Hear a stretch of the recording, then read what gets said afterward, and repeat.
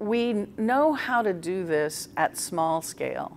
We need to learn how to do this at a much larger scale, at a much faster pace. So it's not that we haven't moved any of the discoveries made through to mechanism and even to drug development, but it's been a slow, laborious process to date.